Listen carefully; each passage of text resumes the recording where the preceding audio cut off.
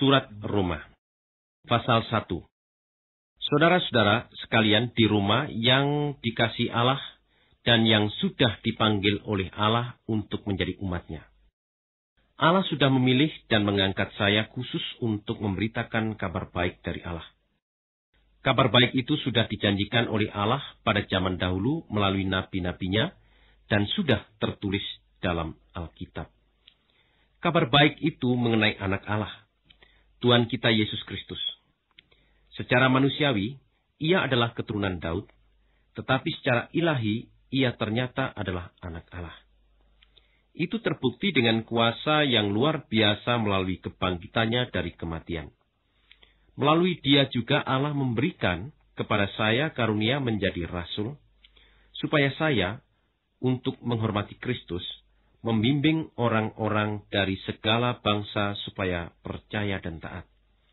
Yang dimaksudkan dengan segala bangsa adalah kalian juga yang berada di rumah. Kalian pun sudah dipanggil untuk menjadi umat Yesus Kristus.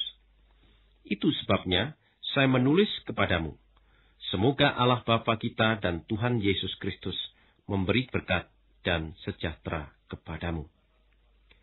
Pertama-tama melalui Yesus Kristus saya berterima kasih kepada Allah karena saudara-saudara sekalian.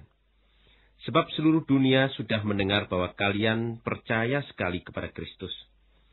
Saya selalu mengingat kalian kalau saya berdoa. Allah saksinya bahwa apa yang saya katakan itu benar. Dialah Allah yang saya layani sepenuh hati dengan memberitakan kabar baik tentang anaknya. Saya mohon dengan sangat kepada Allah, semoga ia mau mengizinkan saya sekarang mengunjungi kalian. Sebab saya ingin sekali bertemu dengan kalian supaya saya dapat membagi denganmu karunia dari roh Allah untuk menguatkan kalian. Maksud saya ialah karena kita sama-sama sudah percaya kepada Yesus Kristus, maka kita dapat saling menguatkan.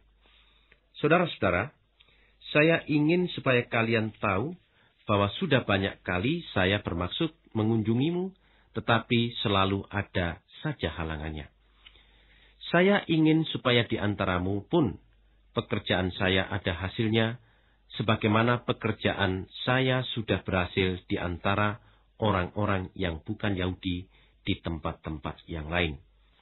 Sebab saya mempunyai kewajiban terhadap segala bangsa, yang sudah beradab dan yang biadab yang berpendidikan maupun yang belum berpendidikan. Itulah sebabnya saya ingin sekali memberitakan kabar baik itu kepada kalian yang tinggal di rumah juga. Saya percaya sekali akan kabar baik itu, karena kabar itu adalah kekuatan Allah untuk menyelamatkan semua orang yang percaya. Pertama-tama orang Yahudi dan bangsa lain juga. Sebab dengan kabar baik itu, Allah menunjukkan bagaimana caranya hubungan manusia dengan Allah menjadi baik kembali. Caranya ialah dengan percaya kepada Allah, dari mula sampai akhir. Itu sama seperti yang tertulis dalam Alkitab. Orang yang percaya kepada Allah sehingga hubungannya dengan Allah menjadi baik kembali. Orang itu akan hidup. Dari surga Allah menunjukkan murkanya terhadap semua dosa dan kejahatan manusia. Sebab kejahatan menghalangi manusia untuk mengenal ajaran benar tentang Allah. Apa yang dapat diketahui manusia tentang Allah sudah jelas di dalam hati nurani manusia, sebab Allah sendiri sudah menyatakan itu kepada manusia. Semenjak Allah menciptakan dunia, sifat-sifat Allah yang tidak kelihatan, yaitu keadaannya sebagai Allah dan kuasanya yang abadi, sudah dapat difahami oleh manusia melalui semua yang telah diciptakan. Jadi manusia sama sekali tidak punya alasan untuk membenarkan diri. Manusia mengenal Allah, tetapi manusia tidak menghormati dia sebagai Allah dan tidak juga berterima kasih kepadanya. Sebaliknya manusia memikirkan yang bukan-bukan. Hati mereka sudah menjadi gelap. Mereka merasa diri bijaksana padahal mereka bodoh. Bukannya Allah yang abadi yang mereka sembah, melainkan patung-patung yang menyerupai makhluk yang bisa mati, yaitu manusia, burung, binatang yang berkaki empat, dan binatang yang melata. Oleh sebab itu Allah membiarkan mereka dikuasai oleh keinginan hati mereka untuk berbuat yang bejat. Sehingga mereka melakukan hal-hal yang kotor terhadap sama sendiri. Allah yang benar, mereka ganti dengan sesuatu yang palsu. Bukan pencipta, melainkan yang diciptakan. Itulah justru yang disembah dan dilayani oleh mereka. Padahal yang menciptakan itulah yang seharusnya dipuji selama-lamanya. Amin. Karena manusia berbuat yang demikian, maka Allah membiarkan mereka menuruti nafsu mereka yang hina. Wanita-wanita mereka tidak lagi tertarik kepada laki-laki seperti yang lazimnya pada manusia, melainkan tertarik kepada sesama wanita. Lelaki pun begitu juga. Mereka tidak lagi secara wajar mengadakan hubungan dengan wanita, melainkan berahi terhadap sesama lelaki. Laki-laki melakukan perbuatan yang memalukan terhadap sesama laki-laki, sehingga mereka menerima pembalasan yang setimpal dengan perbuatan mereka yang jahat itu. Oleh sebab manusia tidak merasa perlu mengenal Allah, maka Allah membiarkan pikiran mereka menjadi rusak, sehingga mereka melakukan hal-hal yang mereka tidak boleh lakukan. Hati mereka penuh dengan semua yang jahat, yang tidak benar, penuh dengan keserakahan, kebusukan, dan perasaan dengki, penuh dengan keinginan untuk membunuh, berkelahi, menipu, dan menendam. Mereka suka membicarakan orang lain, suka memburuk-burukkan nama orang lain. Mereka sombong dan kurang ajar, yang benci kepada Allah, dan suka membual. Mereka pandai mencari cara-cara baru untuk melakukan kejahatan. Mereka melawan orang tua, mereka tidak mau mengerti orang lain. Mereka tidak setia dan tidak berperi kemanusiaan. Mereka tahu bahwa menurut hukum Allah, orang yang melakukan semuanya itu patut dihukum mati. Walaupun begitu, mereka melakukan juga hal-hal itu, dan malah menyetujui pula orang lain melakukannya. Pasal 2. Oleh karena itu, saudara-saudara, siapakah saudara sehingga saudara mau menyalahkan orang lain? Saudara tidak punya apa-apa untuk membela diri. Sebab kalau saudara menyalahkan orang lain, padahal saudara sendiri melakukan perbuatan yang sama seperti mereka, maka saudara menjatuhkan hukuman atas diri sendiri juga. Kita tahu bahwa kalau Allah menjatuhkan hukuman ke atas orang-orang yang melakukan perbuatan-perbuatan yang seperti itu, keputusan Allah itu benar. Tapi kalian saudara-saudara, melakukan sendiri juga hal-hal yang kalian tuduhkan kepada orang-orang lain. Dan kalian pikir kalian dapat lolos dari hukuman Allah. Atau kalian pandang enteng kemurahan Allah dan kelapangan hati serta kesabarannya yang begitu besar.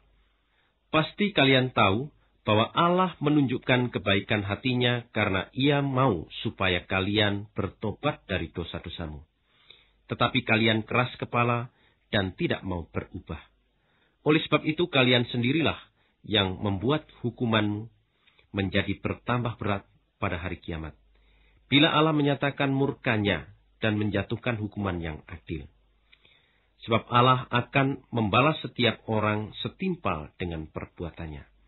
Allah memberikan hidup sejati dan kekal kepada mereka yang tekun berbuat baik untuk mendapatkan yang mulia, yang terhormat dan yang abadi. Tetapi orang-orang yang mementingkan diri sendiri dan tidak mau taat kepada Allah, melainkan mengikuti yang jahat, orang-orang itu akan sangat dimurkai Allah. Setiap orang yang suka berbuat jahat akan sengsara dan menderita. Pertama-tama orang Yahudi dan juga bangsa-bangsa lain. Tetapi semua orang yang suka berbuat baik akan diberi kemuliaan dan kehormatan serta kesejahteraan oleh Allah. Pertama-tama kepada orang Yahudi, begitu juga kepada orang-orang bangsa lain. Sebab Allah memperlakukan semua orang sama.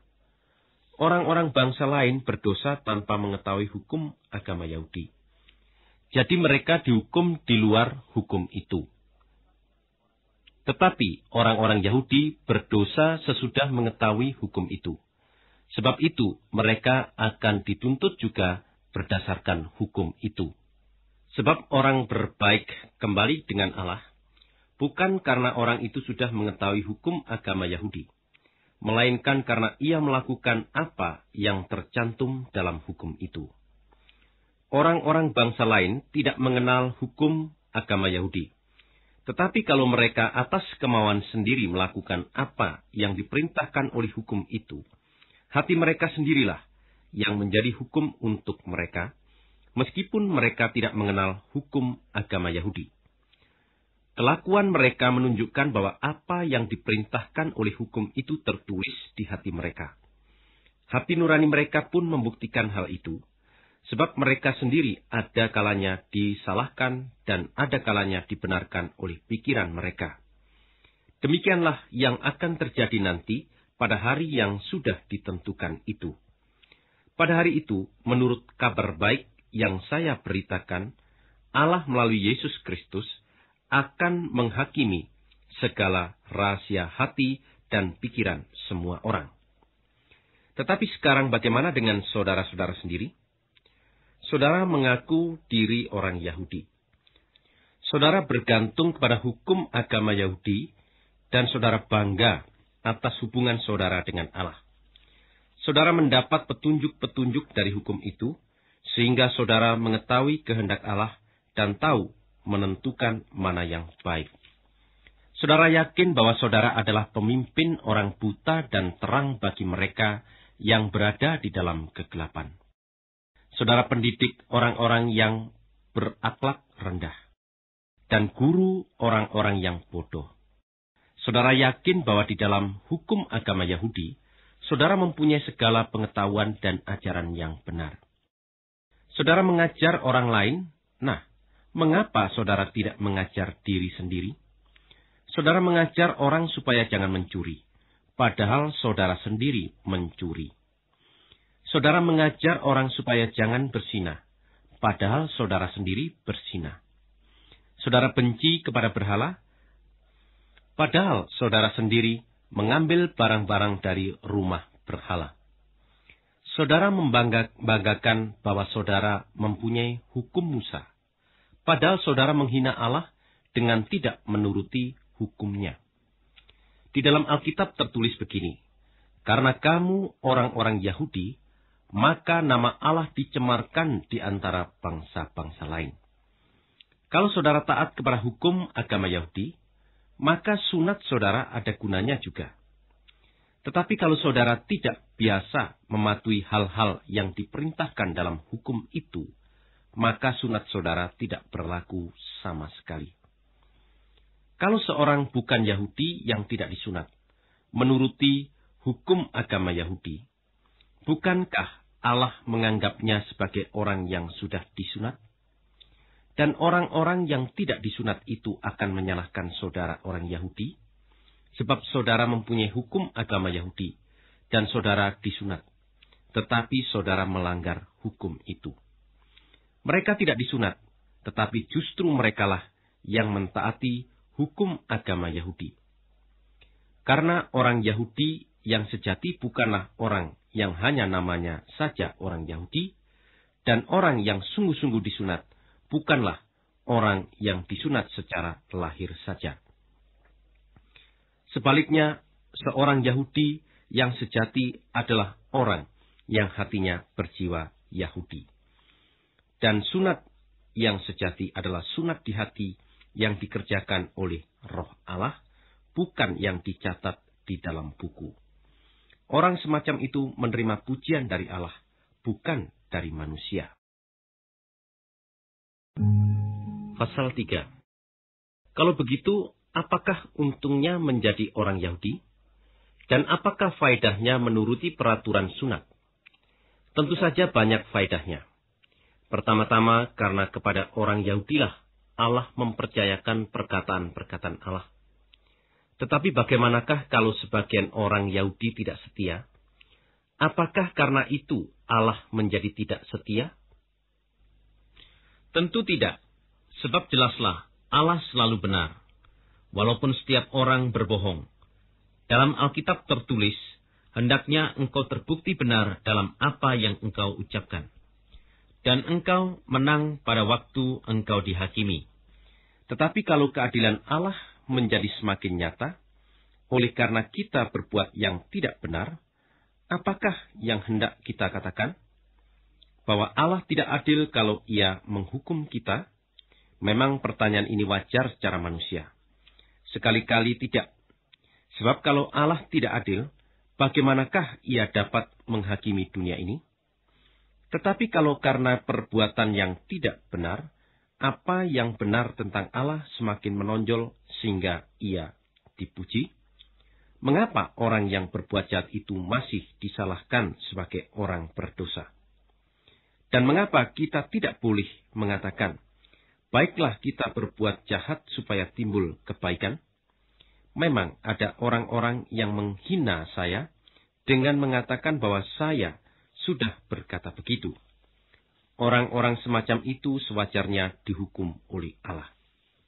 Nah, Apakah kedudukan kita sebagai orang Yahudi lebih baik daripada kedudukan bangsa lain?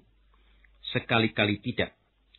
Sudah saya kemukakan bahwa baik orang Yahudi maupun bangsa lain, semuanya sudah dikuasai dosa. Seperti yang tertulis dalam Alkitab, tidak seorang pun yang benar, tidak seorang pun yang mengerti, dan tidak seorang pun yang menyembah Allah. Semua orang sudah menjauhkan diri dari Allah. Semuanya telah sesat. Tidak seorang pun berbuat yang benar. Seorang pun tidak. Tenggorokan mereka bagikan kuburan yang terbuka. Tipu daya mengalir dari lidah mereka. Dan bibir mereka menyemburkan fitnah seperti bisa ular. Mulut mereka penuh dengan kutuk dan kecaman. Langkah mereka cepat kalau hendak menyiksa dan membunuh orang. Kehancuran dan kesusahan ditabur mereka di mana-mana. Mereka buta terhadap jalan kesejahteraan dan tidak menghormati Allah. Sekarang kita tahu bahwa semua yang tertulis dalam hukum agama Yahudi adalah untuk orang-orang yang berada di bawah pemerintahan hukum itu. Dengan demikian, tidak seorang pun dapat memberikan alasan apa-apa lagi dan seluruh dunia dapat dituntut oleh Allah. Sebab tidak seorang pun dimungkinkan berbaik dengan Allah oleh karena orang itu melakukan hal-hal yang terdapat dalam hukum agama. Sebaliknya, hukum itu cuma menunjukkan kepada manusia bahwa manusia berdosa.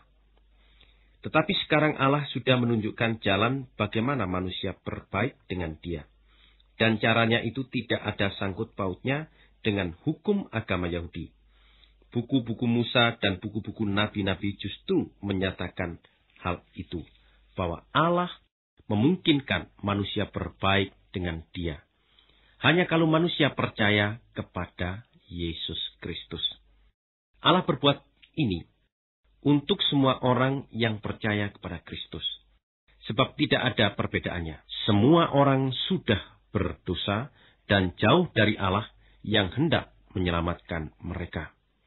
Hanya karena rahmat Allah saja yang diberikan dengan cuma-cuma. Hubungan manusia dengan Allah menjadi baik kembali. Caranya ialah manusia dibebaskan oleh Kristus Yesus. Allah mengorbankan Kristus Yesus supaya dengan kematiannya itu manusia dinyatakan bebas dari kesalahan kalau mereka percaya kepadanya. Allah berbuat begitu untuk menunjukkan keadilannya. Sebab pada masa yang lampau, Allah sudah berlaku sabar terhadap dosa-dosa manusia. Sehingga ia tidak menghukum mereka. Tetapi sekarang ia bertindak terhadap dosa untuk membuktikan keadilannya. Dengan cara itu ia menunjukkan bahwa dirinya benar. Dan setiap orang yang percaya kepada Yesus, dinyatakannya sebagai orang yang sudah berbaik kembali dengan Allah. Oleh karena itu, tidak ada lagi alasan bagi kita untuk berbangga-bangga. Mengapa demikian? Apakah karena kita melakukan yang tercantum dalam hukum agama Yahudi? Bukan. Tetapi karena kita percaya. Sebab kesimpulannya adalah begini. Orang dinyatakan berbaik kembali dengan Allah bukan karena ia melakukan apa yang tercantum dalam hukum agama Yahudi, melainkan karena ia percaya kepada Yesus Kristus. Ataukah Allah itu Allah orang Yahudi saja? Bukankah ia Allah bangsa lain juga? Ya, memang ia Allah bangsa lain juga. Sebab Allah hanya satu. Dialah yang memungkinkan orang-orang Yahudi berbaik kembali dengan Allah karena mereka percaya. Dan dialah pula yang memungkinkan orang-orang bangsa lain berbaik kembali dengan Allah. Itu juga karena mereka percaya. Apakah ini berarti bahwa karena kita percaya kepada Kristus, kita membuang hukum agama Yahudi? Sama sekali tidak.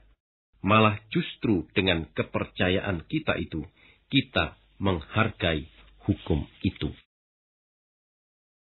Pasal 4 Kalau begitu, apakah yang dapat kita katakan tentang Abraham, nenek moyang bangsa kita? Bagaimanakah pengalamannya?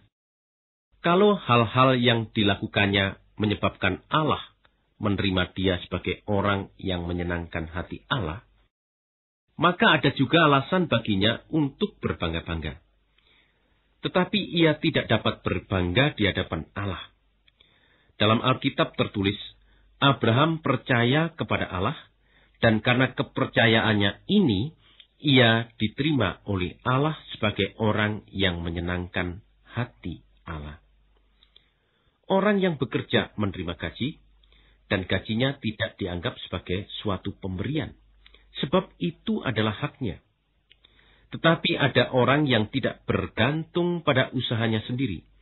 Ia mempercayakan dirinya kepada Allah yang menyatakan orang berdosa bebas dari kesalahan. Berdasarkan percayanya itulah Allah menerima orang itu sebagai orang yang menyenangkan hati Allah. Begitulah pendapat Daud juga. Itu sebabnya ia mengucapkan selamat berbahagia kepada orang yang oleh Allah sudah diterima sebagai orang yang menyenangkan hatinya. Tanpa Allah memperhatikan perbuatan-perbuatan orang itu, Daud berkata begini, Selamat berbahagia orang yang kesalahan-kesalahannya diampuni, dan dosa-dosanya sudah dikubur oleh Allah. Selamat berbahagia orang yang dosa-dosanya tidak dituntut oleh Tuhan. Apakah ucapan selamat berbahagia ini ditujukan hanya kepada orang-orang yang menuruti peraturan sunat saja? Ataukah juga kepada orang-orang yang tidak menuruti peraturan sunat?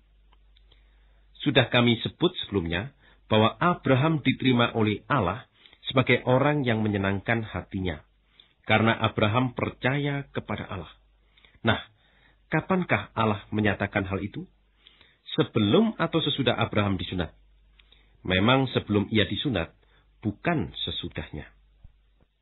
Ia disunat kemudian, dan sunatnya itu hanya sebagai tanda bahwa Allah sudah menerimanya sebagai orang yang menyenangkan hati Allah, karena percaya kepada Allah.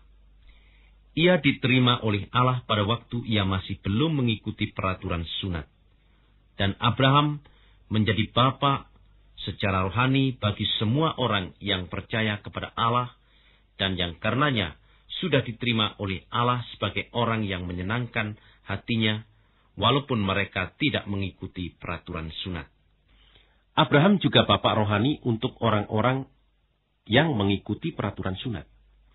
Ia bapak rohani mereka bukan hanya karena mereka mengikuti peraturan sunat, tetapi juga karena mereka hidup dengan percaya kepada Allah, sama seperti Abraham pada waktu ia belum mengikuti peraturan sunat.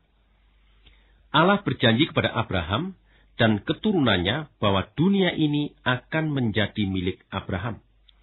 Allah berjanji begitu bukan sebab Abraham taat kepada hukum agama Yahudi, tetapi karena ia percaya kepada Allah, sehingga ia diterima oleh Allah sebagai orang yang menyenangkan hatinya. Sebab kalau hanya orang-orang yang taat kepada hukum-hukum agama Yahudi saja yang akan menerima apa yang dijanjikan oleh Allah, maka percaya kepada Allah tidak berguna sama sekali. Dan janji Allah pun kosong belaka. Hukum agama Yahudi mendatangkan hukuman Allah. Tetapi kalau hukum tidak ada, maka pelanggaran pun tidak ada. Jadi janji Allah itu berdasarkan percayanya orang kepada Allah. Itu menjadi suatu jaminan kepada semua keturunan Abraham bahwa janji itu diberikan kepada mereka sebagai suatu pemberian yang cuma-cuma dari Allah. Bukan hanya kepada mereka yang taat kepada hukum agama Yahudi saja, tetapi juga kepada mereka yang percaya kepada Allah sama seperti Abraham percaya kepadanya. Sebab Abraham adalah bapak kita semua secara rohani. Sebab Allah berkata begini kepada Abraham, Aku sudah menjadikan engkau bapak untuk banyak bangsa. Demikianlah Allah memberikan janji itu kepada Abraham. Dan Abraham percaya kepadanya. Dialah Allah yang menghidupkan orang mati.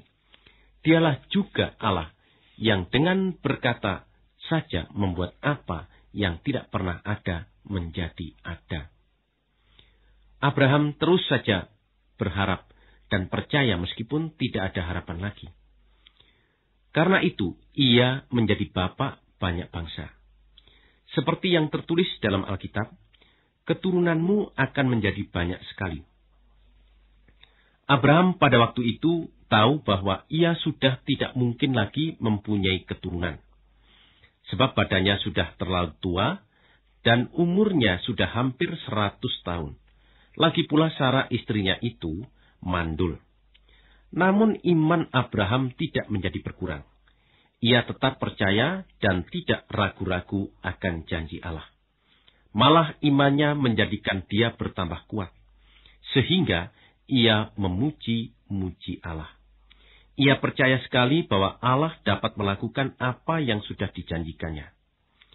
Itu sebabnya Abraham diterima oleh Allah sebagai orang yang menyenangkan hati Allah.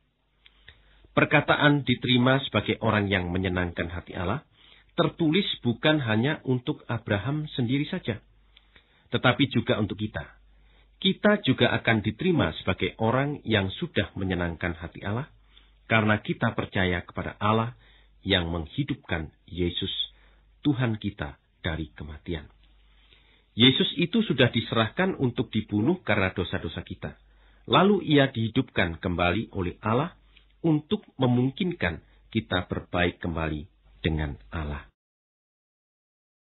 Pasal 5 Sekarang kita sudah berbaik kembali dengan Allah karena kita percaya. Dan oleh sebab itu, kita hidup dalam kedamaian dengan Allah melalui Tuhan kita Yesus Kristus. Oleh sebab kita percaya kepada Yesus, maka ia memungkinkan kita menghayati kasih Allah, dan dengan kasih itulah kita hidup sekarang. Karena itu kita bersuka hati karena kita mempunyai harapan bahwa kita akan merasakan kebahagiaan yang diberikan Allah. Dan lebih dari itu, kita pun gembira di dalam penderitaan, sebab kita tahu bahwa penderitaan membuat orang menjadi tekun. Dan ketekunan akan membuat orang tahan uji. Inilah yang menimbulkan pengharapan. Harapan yang seperti ini tidak akan mengecewakan kita, sebab hati kita sudah diisi oleh Allah dengan kasihnya. Allah melakukan itu dengan perantaraan rohnya yang sudah diberikan kepada kita. Ketika kita dalam keadaan tidak berdaya, Kristus mati untuk kita pada waktu yang tepat yang ditentukan oleh Allah. Padahal kita orang-orang yang jauh dari Allah. Untuk seseorang yang adil pun, sukar orang mau mati. Barangkali untuk seseorang yang baik, ada juga orang yang berani mati. Tetapi Allah menyatakan kasihnya kepada kita ketika Kristus mati untuk kita pada waktu kita masih orang berdosa. Sekarang kita sudah berbaik kembali dengan Allah melalui kematian Kristus. Karena itu pasti kita akan diselamatkan juga dari murka Allah oleh Kristus. Kalau pada masa kita bermusuhan dengan Allah, kita didamaikan dengannya melalui kematian anaknya, apalagi sekarang sesudah hubungan kita dengan Allah baik kembali, tentu kita akan diselamatkan juga melalui hidup Kristus.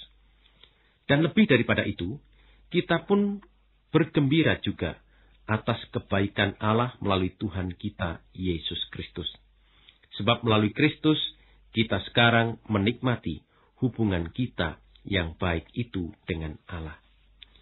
Dosa masuk ke dalam dunia melalui satu orang, dan dari dosa itu timbullah kematian.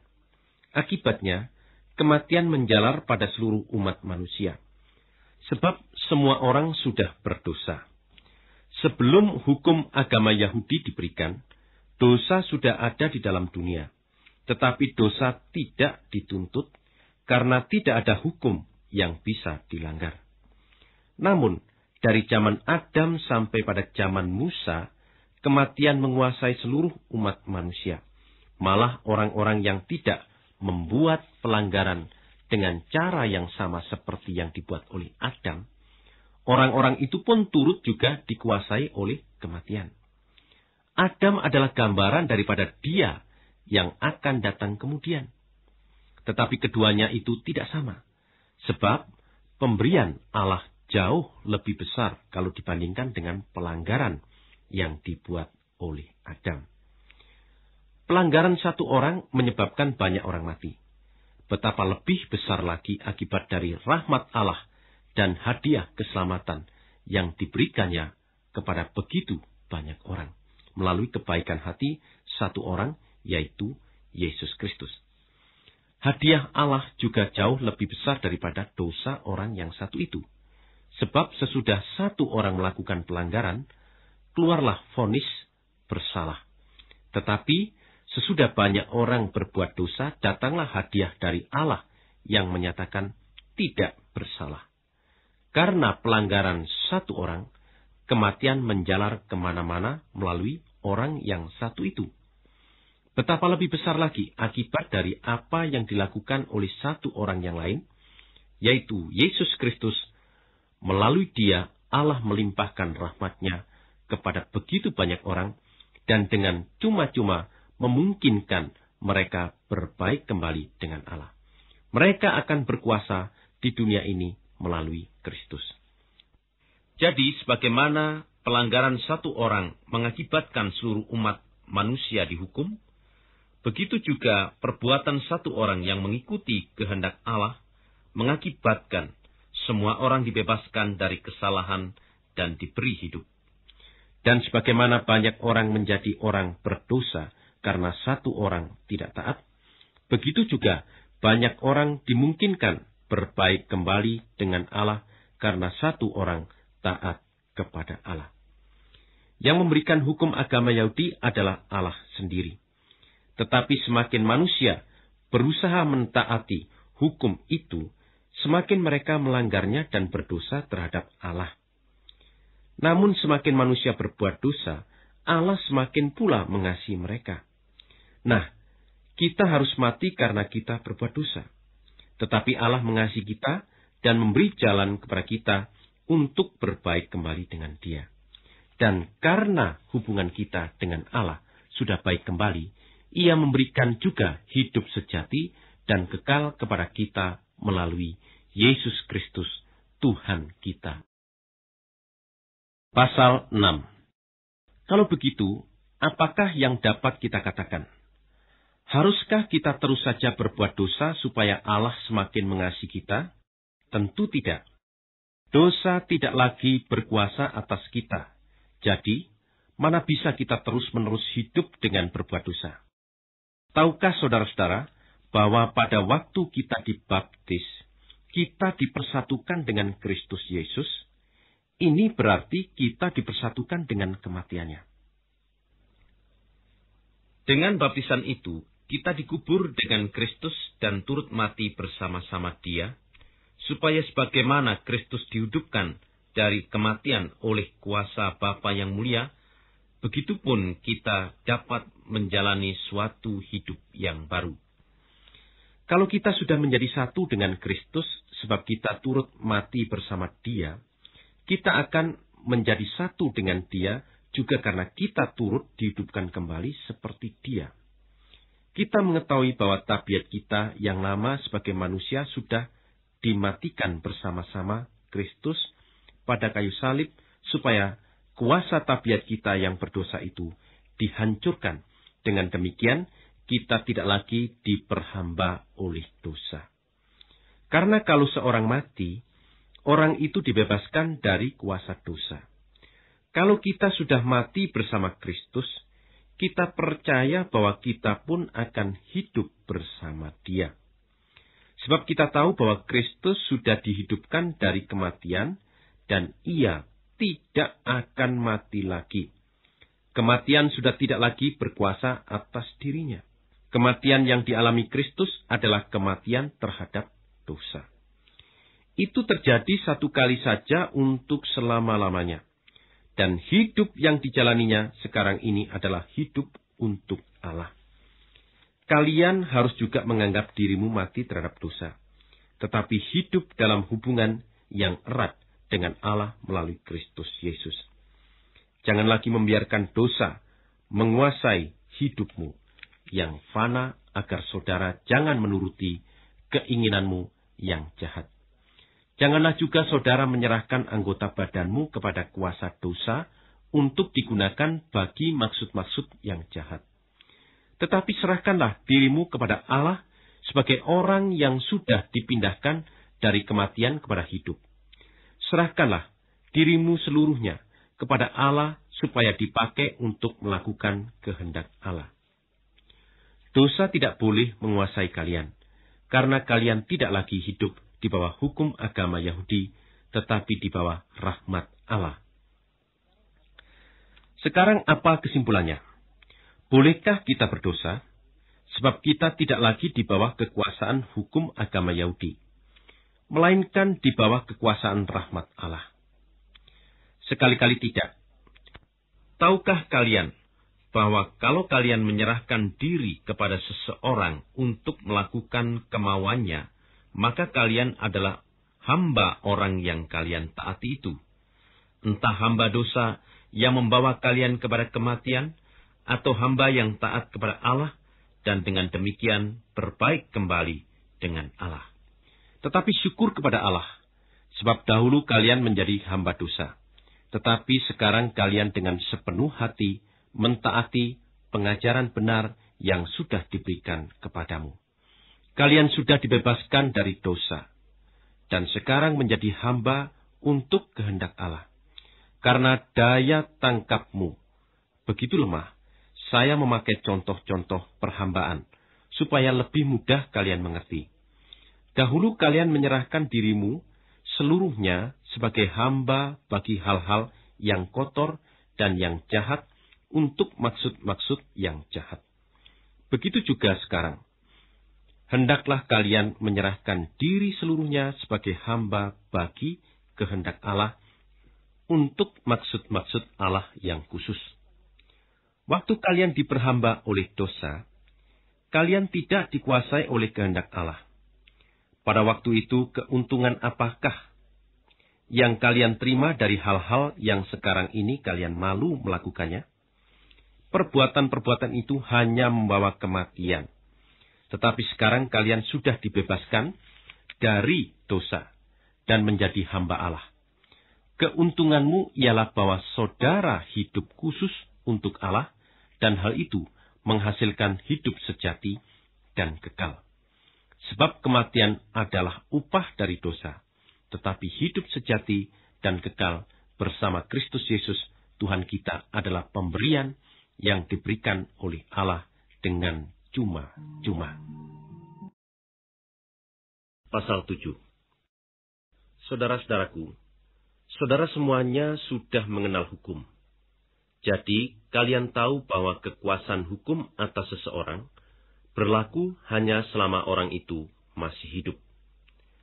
Seorang wanita yang bersuami, umpamanya, terikat oleh hukum kepada suaminya, hanya selama suaminya masih hidup.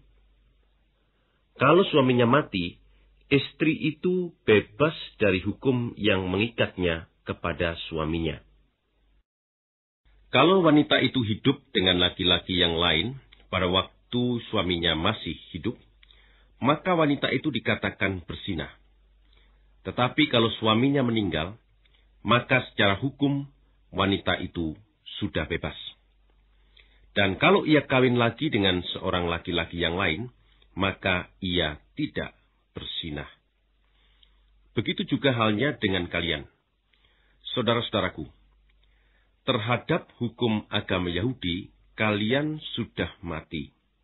Karena kalian telah dipersatukan dengan tubuh Kristus dan menjadi kepunyaan dia yang sudah dihidupkan kembali dari kematian. Ia dihidupkan dari kematian supaya kita menjadi berguna bagi Allah dalam kehidupan kita. Sebab dahulu kita hidup menurut sifat-sifat manusia pada waktu itu keinginan-keinginan yang berdosa yang timbul karena adanya hukum agama memegang peranan dalam diri kita. Itu sebabnya kita melakukan hal-hal yang mengakibatkan kematian. Tetapi sekarang kita tidak lagi terikat pada hukum agama Yahudi. Kita sudah mati terhadap hukum yang dahulunya menguasai kita. Kita tidak lagi mengabdi dengan cara yang lama, menurut hukum yang tertulis. Sekarang kita mengabdi menurut cara baru yang ditunjukkan oleh roh Allah kepada kita. Kalau begitu, apakah yang dapat kita katakan? Bahwa hukum agama Yahudi jahat? Tentu tidak. Tetapi hukum itulah yang mengajar saya tentang dosa. Saya tidak akan tahu tamat itu apa, kalau hukum agama tidak mengatakan. Janganlah tamak. Melalui hukum agama, dosa mendapat kesempatan untuk menimbulkan segala macam keinginan yang tamak di dalam hati saya. Sebab kalau hukum agama tidak ada, maka dosa pun mati. Saya dahulu hidup tanpa hukum agama. Tetapi ketika hukum agama muncul, dosa mulai hidup dan saya mati. Maka hukum agama itu, yang mulanya dimaksudkan untuk memberi hidup, malah mendatangkan kematian kepada saya. Karena melalui hukum agama itu, dosa mengambil kesempatan menipu dan membunuh saya. Hukum agama berasal dari Allah, dan setiap perintah dalam hukum itu datangnya dari Allah. Jadi adil dan baik. Nah, apakah ini berarti bahwa yang baik itu mendatangkan kematian bagi saya? Tentu tidak. Dosalah yang mendatangkan kematian itu. Dengan memakai yang baik. Dosa mendatangkan kematian kepada saya supaya sifat-sifat dosa kelihatan dengan jelas. Melalui perintah-perintah Allah, terbuktilah betapa jahatnya dosa. Kita tahu bahwa hukum agama Yahudi berasal dari roh Allah, tetapi saya ini manusia lemah. Saya sudah dijual untuk menjadi hamba dosa. Sebab saya sendiri tidak mengerti perbuatan saya. Hal-hal yang saya ingin lakukan, itu tidak saya lakukan. Tetapi hal-hal yang saya benci, itu malah yang saya lakukan. Nah, kalau saya melakukan hal-hal yang bertentangan dengan keinginan saya, itu berarti saya mengakui bahwa hukum agama Yahudi itu baik.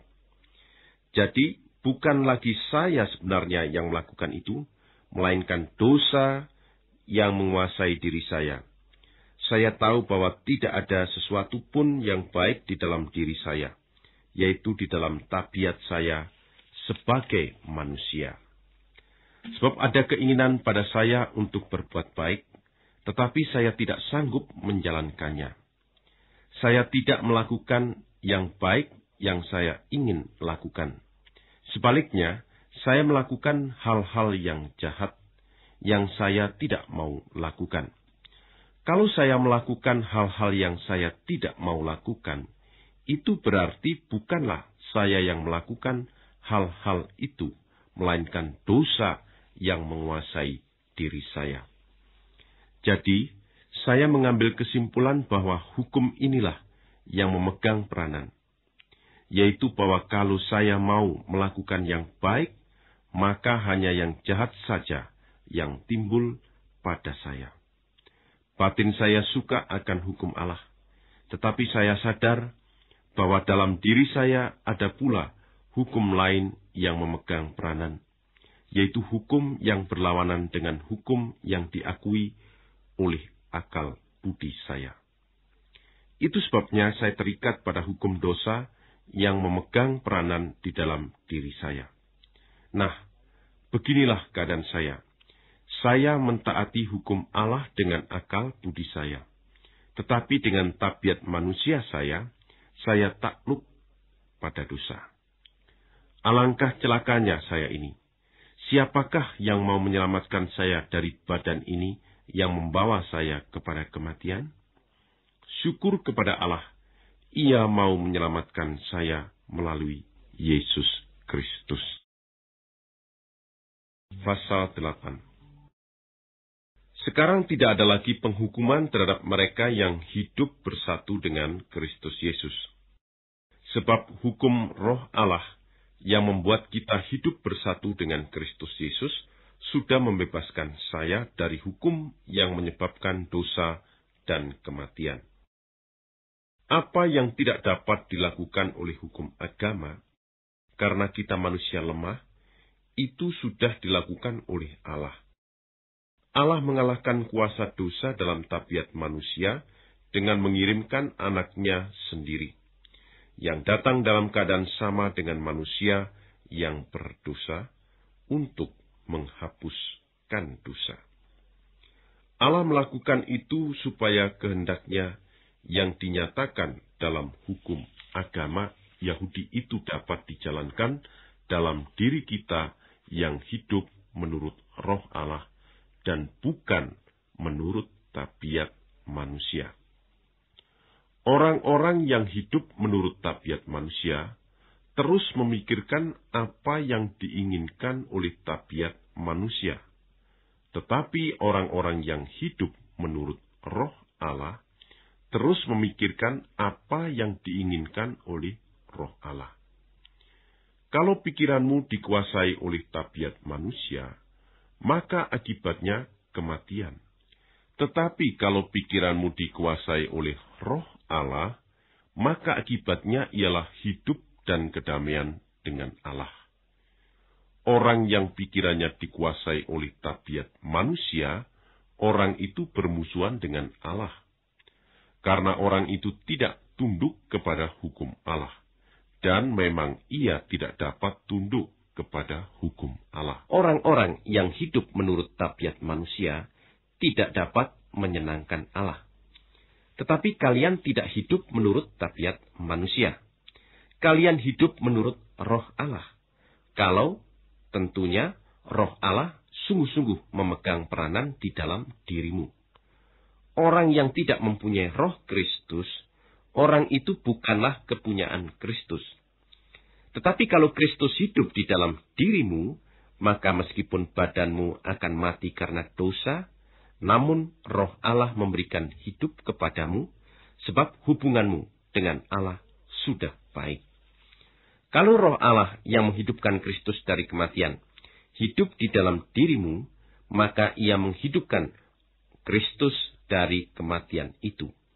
Akan menghidupkan juga badanmu yang dapat mati itu.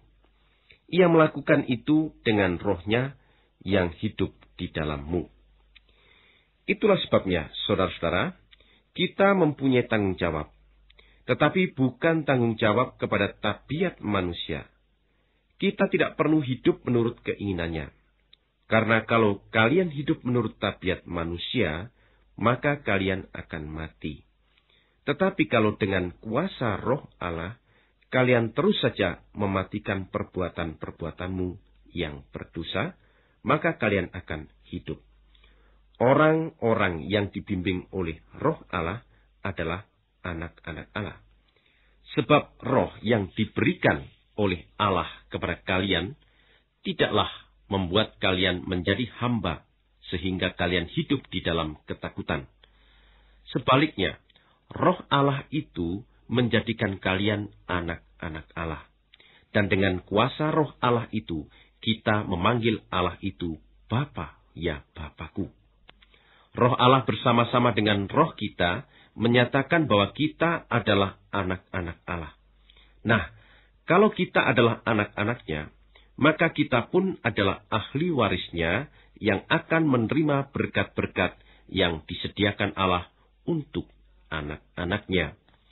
Kita akan menerima bersama-sama dengan Kristus apa yang sudah disediakan Allah baginya. Sebab kalau kita menderita bersama Kristus, kita akan dimuliakan juga bersama Dia. Semua penderitaan yang kita alami sekarang, menurut pendapat saya, tidak dapat dibandingkan sama sekali dengan kemuliaan yang akan dinyatakan kepada kita. Seluruh alam menunggu dengan sangat rindu akan saatnya Allah menyatakan anak-anaknya. Sebab alam sudah dibiarkan untuk menjadi rapuh. Bukan karena kemauannya sendiri, tetapi karena Allah membiarkannya demikian. Meskipun begitu, ada juga harapan ini.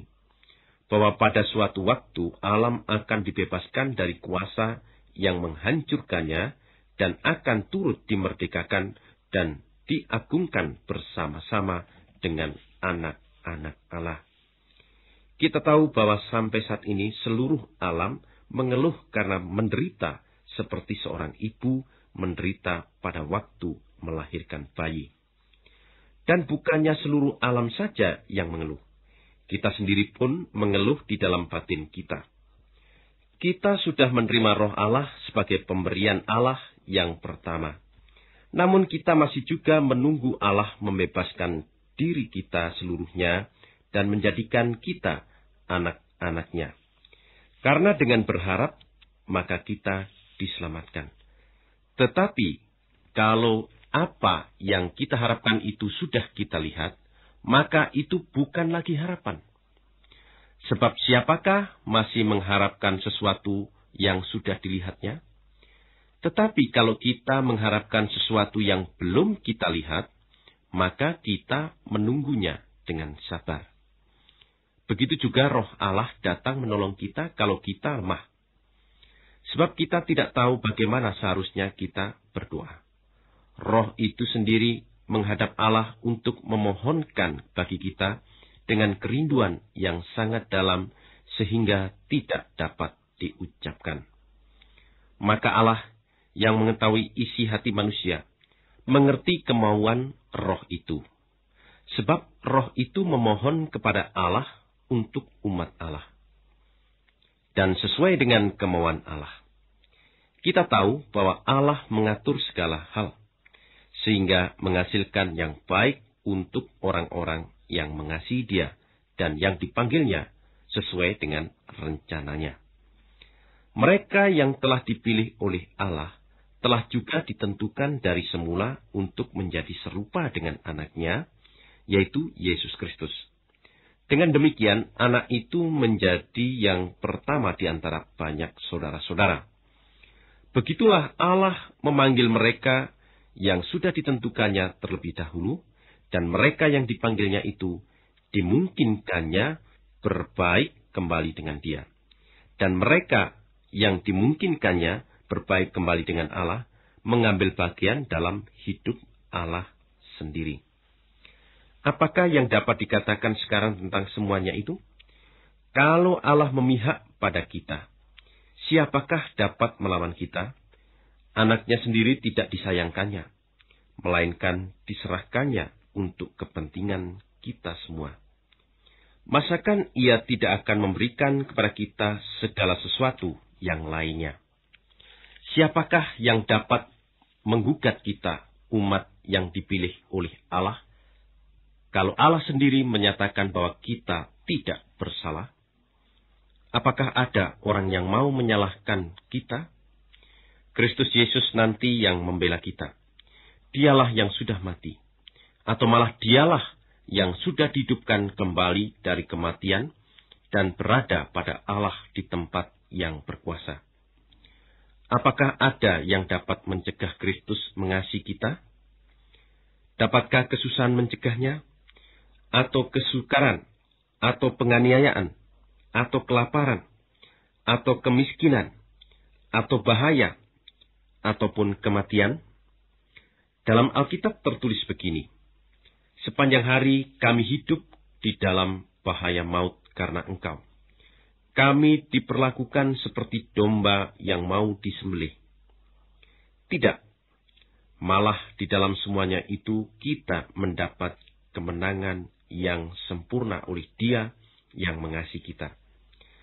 Sebab saya percaya sekali bahwa di seluruh dunia, baik kematian maupun kehidupan, baik malaikat maupun penguasa, baik ancaman-ancaman sekarang ini maupun ancaman-ancaman di masa yang akan datang, atau kekuatan-kekuatan lainnya, baik hal-hal yang di langit maupun hal-hal yang di dalam bumi, atau apa saja yang lain, semuanya tidak dapat mencegah Allah mengasihi kita.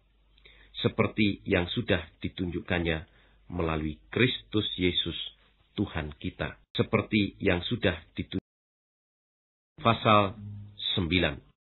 Apa yang akan saya katakan ini adalah benar karena saya milik Kristus. Saya tidak berdusta.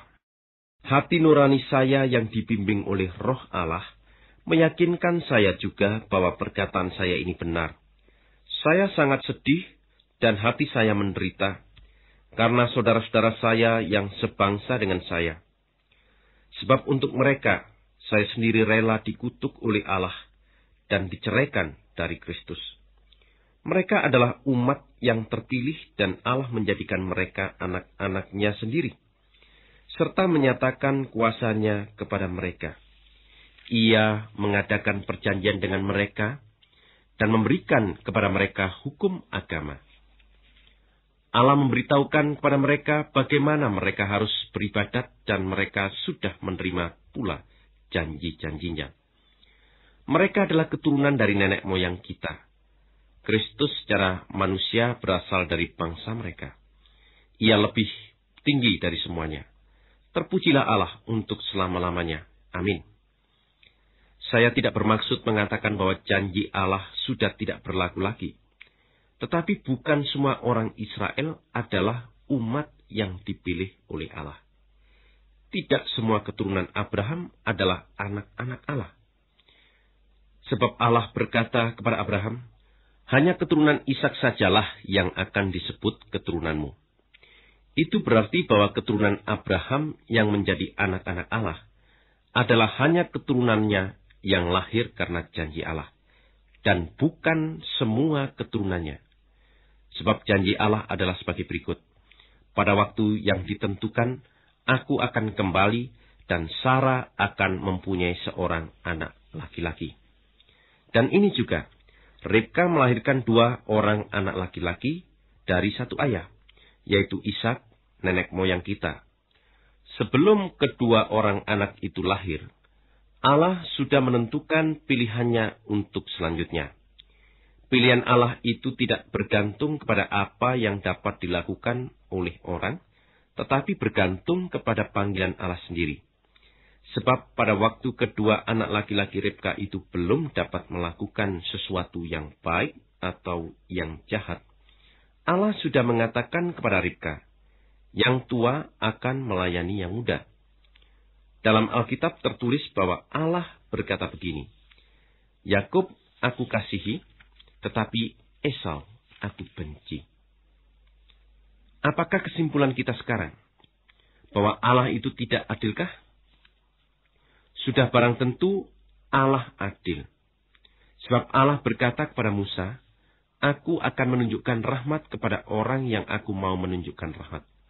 Dan aku akan menunjukkan belas kasihan kepada orang yang aku mau menunjukkan belas kasihan. Jadi keputusan Allah itu tidaklah bergantung kepada kerelaan manusia atau kepada usaha manusia, melainkan kepada kebaikan hati Allah saja terhadap orang yang dipilihnya itu. Sebab dalam Alkitab tertulis, Allah berkata kepada Raja Mesir, Aku menjadikan engkau raja untuk satu maksud ini saja, yaitu supaya dengan engkau, aku menunjukkan kekuasaanku dan membuat namaku termasyur di seluruh dunia. Jadi Allah berbelas kasihan kepada seseorang, kalau Allah mengendaki begitu, dan Allah menyebabkan seseorang menjadi keras kepala kalau Allah menghendaki demikian juga. Nah, saudara akan berkata kepada saya, kalau begitu mengapa Allah masih mau menyalahkan manusia? Bukankah tidak seorang pun dapat mencegah keinginan Allah? Tetapi, saudara, saudara hanya manusia saja, dan saudara tidak boleh berani menyaut kepada Allah. Bolehkah pot kembang bertanya kepada orang yang membuatnya? Mengapa engkau membuat saya begini? Bukankah orang yang membuat pot kembang itu berhak mengerjakan tanah liat itu sekehendak hatinya? Dari segumpal tanah liat, orang itu berhak membuat dua macam pot kembang. Satu yang bagus dan yang lainnya yang kurang bagus. Begitu jugalah dengan apa yang dibuat oleh Allah. Ia berniat untuk melampiaskan kemarahannya dan memperlihatkan kekuasaannya. Namun ia sabar terhadap mereka yang harus dihukum karena membuat ia murka. Allah juga berniat untuk menunjukkan kepada kita kebahagiaan berlimpah-limpah yang dicurahkannya kepada kita yang dikasihaninya. Kita sudah disiapkannya untuk menerima kebahagiaan itu. Kitalah yang sudah dipanggilnya, bukan hanya dari bangsa Yahudi, tetapi juga dari bangsa-bangsa lain. Sebab dalam buku Nabi Hosea Allah berkata, Orang-orang yang bukan umatku akan kusebut umatku. Bangsa yang tidak aku kasih akan kusebut kekasihku. Dan di tempat di mana dikatakan kepada orang, kamu bukan umatku, di situ orang-orang itu akan disebut anak-anak Allah yang hidup.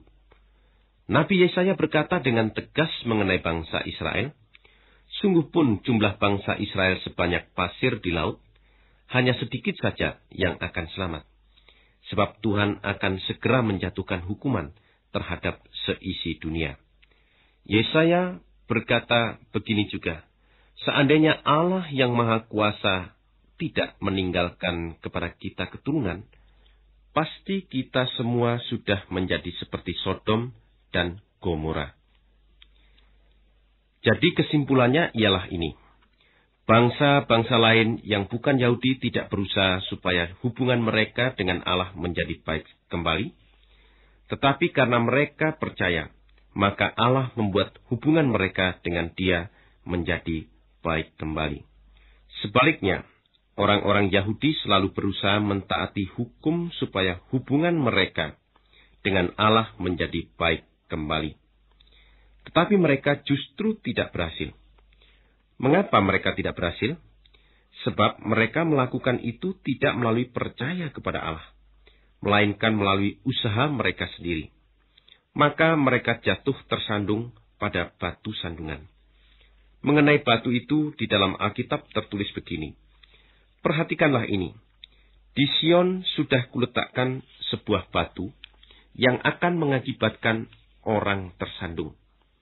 Yaitu sebuah batu besar yang akan mengakibatkan orang jatuh. Tetapi orang yang percaya kepadanya tidak akan kecewa. Pasal 10 Saudara-saudara, saya rindu sekali supaya bangsa saya diselamatkan. Dan saya sungguh-sungguh berdoa kepada Allah untuk mereka. Saya berani mengatakan bahwa mereka bersemangat sekali mengabdi kepada Allah. Tetapi semangat mereka itu tidak berdasarkan pengetahuan yang dari Allah. Mereka tidak mengetahui caranya Allah membuat hubungan manusia dengan dia menjadi baik kembali. Dan karena mereka mau mengikuti cara mereka sendiri, maka mereka tidak tunduk kepada cara yang ditunjuk Allah. Hukum agama sudah dipenuhi oleh Kristus. Jadi setiap orang yang percaya kepada Kristus, hubungannya dengan Allah menjadi baik kembali. Musa menulis bahwa orang yang berbaik dengan Allah berdasarkan hukum agama, orang itu akan hidup karena taat kepada hukum agama itu. Tetapi mengenai cara orang berbaik dengan Allah berdasarkan percaya kepada Allah, Alkitab mengatakan begini. Tidak usahlah engkau berkata di dalam hatimu, siapakah yang akan naik ke surga? Artinya, membawa Kristus turun. Atau siapakah yang akan turun ke dunia orang mati? Artinya mengangkat Kristus naik dari kematian? Maksudnya adalah begini. Berita dari Allah itu dekat sekali padamu, pada mulutmu dan dalam hatimu. Itulah berita yang kami siarkan berita bahwa orang harus percaya. Sebab kalau saudara mengaku dengan mulutmu bahwa Yesus itu Tuhan, dan saudara percaya dalam hatimu bahwa Allah sudah menghidupkan Yesus dari kematian, maka saudara akan selamat. Karena dengan hatinya orang percaya, sehingga Allah menerima dia sebagai orang yang berbaik dengan Allah. Dan dengan mulutnya orang mengaku sehingga ia diselamatkan. Di dalam Alkitab tertulis, orang yang percaya tidak akan dikecewakan. Itu berlaku terhadap semua orang. Sebab tidak ada bedanya antara orang Yahudi dengan orang-orang bangsa lain. Allah yang satu itu adalah Tuhan untuk semua orang. Ia memberikan berkat yang berlimpah-limpah kepada semua orang yang meminta tolong kepadanya. Dalam Alkitab tertulis, semua orang yang berseru kepada Tuhan akan selamat. Tetapi bagaimanakah orang dapat berseru kepada Tuhan kalau mereka belum percaya? Dan bagaimanakah mereka dapat percaya kepada Tuhan kalau mereka belum mendengar tentang Dia? Juga bagaimanakah mereka dapat mendengar tentang Tuhan kalau tidak ada yang memberitakan? Dan bagaimanakah orang dapat membawa berita itu kalau mereka tidak diutus? Di dalam Alkitab tertulis begini. Alangkah baiknya kedatangan orang-orang yang membawa kabar baik dari Allah. Tetapi tidak semua orang menerima kabar baik itu. Sebab Yesaya berkata, Tuhan, siapakah yang percaya pada berita kami? Itu sebabnya orang-orang menjadi percaya karena mereka mendengar berita dan berita didengar karena ada orang yang memberitakan tentang Kristus. Tetapi saya bertanya, apakah memang mereka belum mendengar berita itu? Pasti sudah. Sebab dalam Alkitab tertulis begini, Suara mereka sudah berkumandang di seluruh dunia. Kata-kata mereka sudah sampai ke ujung bumi. Saya bertanya lagi, apakah bangsa Israel belum mengetahuinya? Biarlah pertanyaan itu pertama-tama dijawab oleh Musa. Musa berkata, Beginilah kata Allah, Aku akan membuat kamu iri hati terhadap suatu bangsa yang bukan umat. Dan aku akan membuat kamu marah terhadap suatu bangsa yang bodoh. Yesaya lebih berani lagi, ia berkata, Beginilah kata Allah, Orang-orang yang tidak mencari aku sudah menjumpai aku dan aku memperlihatkan diriku kepada mereka yang tidak menanyakan tentang aku. Tetapi mengenai bangsa Israel, Yesaya berkata, Beginilah kata Allah, sepanjang hari aku mengulurkan tanganku kepada suatu bangsa yang keras, kepala, dan tidak taat. Pasal 11 Saya bertanya, apakah Allah sudah membuang umatnya sendiri? Tentu tidak. Saya sendiri seorang Israel keturunan Abraham dan dari suku Benyamin. Tidak. Allah tidak membuang umatnya yang telah dipilihnya sejak semula. Saudara-saudara tahu apa yang tertulis dalam Alkitab mengenai Elia? Ketika ia mengadukan soal Israel kepada Allah, Elia berkata, Tuhan, orang-orang sudah membunuh nabi-nabimu dan menghancurkan tempat-tempat mempersembahkan korban untukmu. Tinggal saya seorang diri dan mereka mau membunuh saya. Apakah jawaban Allah kepada Elia? Allah menjawab, Aku sudah meninggalkan tujuh ribu orang untuk diriku sendiri. Mereka belum pernah menyembah Dewa Baal. Begitu juga sekarang ini, ada sejumlah kecil orang-orang yang telah dipilih oleh Allah karena rahmatnya. Ia memilih mereka berdasarkan rahmatnya dan bukan berdasarkan perbuatan mereka. Sebab kalau pilihan Allah itu berdasarkan perbuatan manusia, maka rahmat Allah itu bukan lagi rahmat yang sejati. Jadi bagaimana? Umat Israel tidak mendapat apa yang mereka cari. Yang mendapatnya hanyalah segolongan kecil orang-orang yang telah dipilih oleh Allah. Yang lain semuanya menjadi keras kepala terhadap panggilan Allah.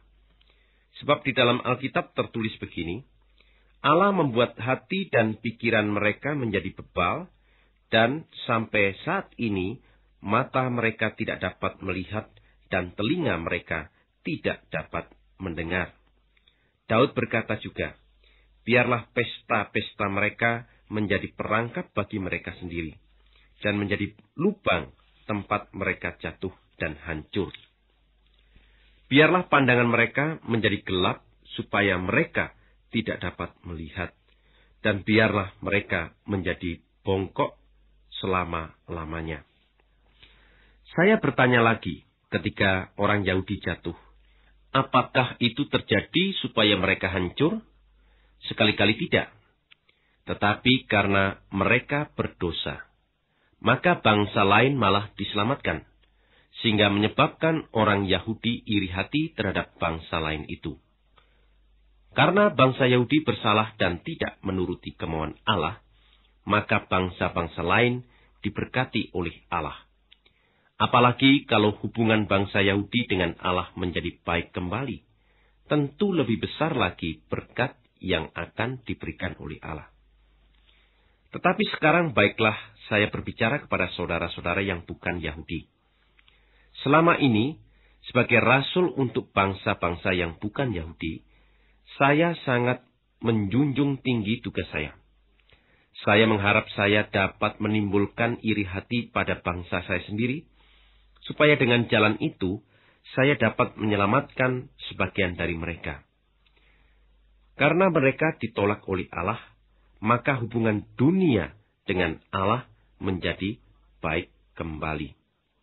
Apalagi kalau mereka diterima oleh Allah, tentu itu sama saja seperti orang mati hidup lagi. Kalau sepotong roti yang pertama sudah diberikan kepada Allah, itu berarti seluruh rotinya diberi kepada Allah juga. Dan kalau akar pohon adalah kepunyaan Allah, itu berarti cabang-cabangnya adalah miliknya juga. Sebagian dari cabang-cabang pohon zaitun, yaitu orang-orang Yahudi, sudah dikerat. Dan pada bekas keratan itu dicangkokkan cabang pohon zaitun liar yaitu saudara-saudara yang bukan Yahudi. Saudara dicangkokkan di situ supaya saudara menikmati segala yang baik dari kehidupan rohani orang-orang Yahudi. Oleh karena itu, janganlah kalian menganggap enteng mereka yang sudah dikerat seperti cabang itu.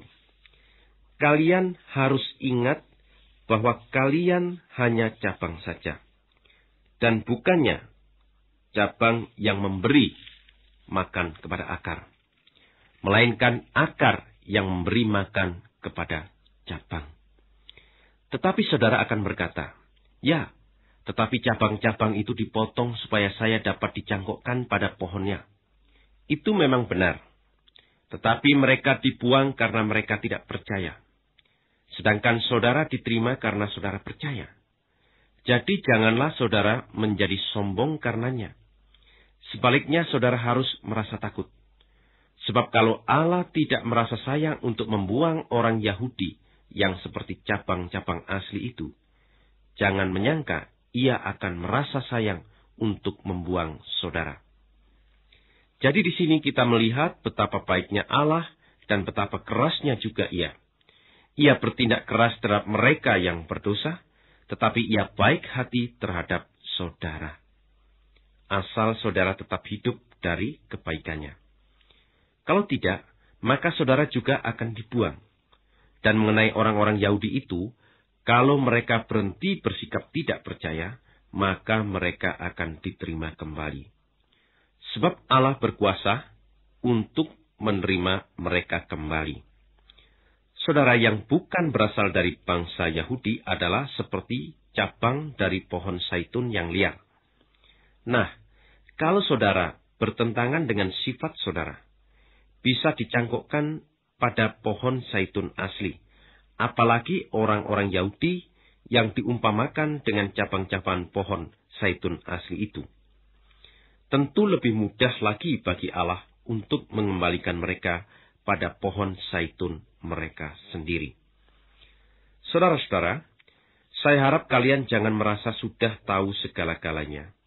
Sebab ada sesuatu hal yang dikehendaki oleh Allah, tetapi yang belum diketahui orang. Dan saya mau kalian mengetahuinya, yaitu ini. Sebagian dari orang Yahudi berkeras kepala, tetapi sikap mereka itu akan berlangsung hanya sampai jumlah orang-orang bukan Yahudi yang datang kepada Allah sudah lengkap.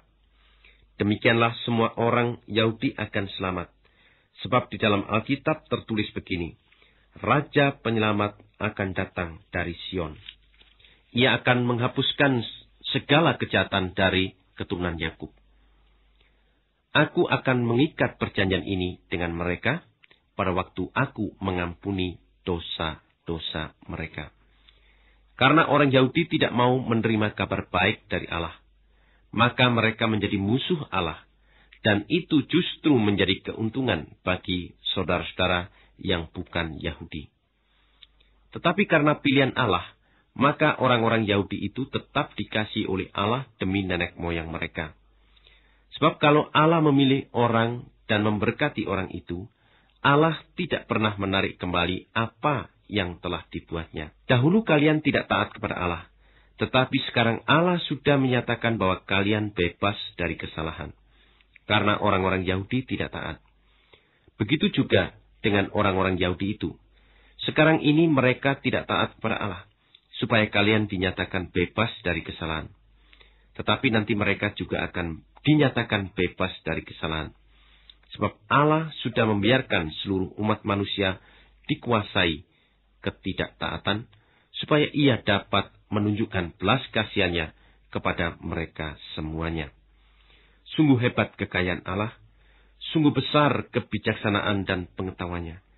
Siapakah yang dapat menyelidiki keputusan-keputusannya? Siapakah yang dapat mengerti cara-caranya ia bekerja? Dalam Alkitab tertulis begini, Siapakah yang mengetahui pikiran Tuhan? Siapakah dapat memberi nasihat kepadanya? Siapakah pernah memberi sesuatu kepada Tuhan sehingga bisa menuntut balasannya? Allah yang menciptakan segala sesuatu. Semuanya berasal dari Allah dan adalah untuk Allah.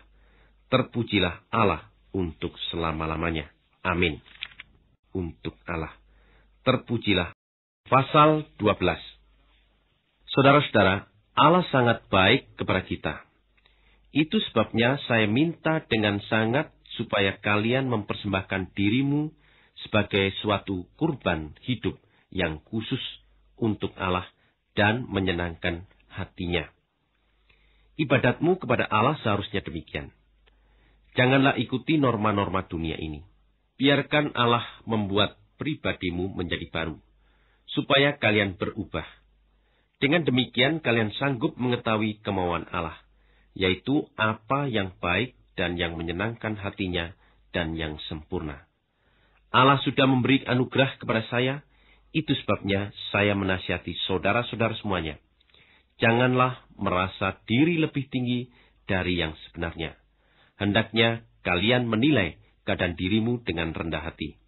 Masing-masing menilai dirinya menurut kemampuan yang diberikan Allah kepadanya oleh karena ia percaya kepada Yesus. Tubuh kita mempunyai banyak anggota. Setiap anggota ada tugasnya sendiri-sendiri. Begitu juga dengan kita. Meskipun kita semua banyak, namun kita merupakan satu tubuh karena kita bersatu pada Kristus. Dan kita masing-masing berhubungan satu dengan yang lain sebagai anggota-anggota dari satu tubuh. Kita masing-masing mempunyai karunia-karunia pelayanan yang berlainan. Karunia-karunia itu diberikan oleh Allah kepada kita menurut rahmatnya. Sebab itu, kita harus memakai karunia-karunia itu.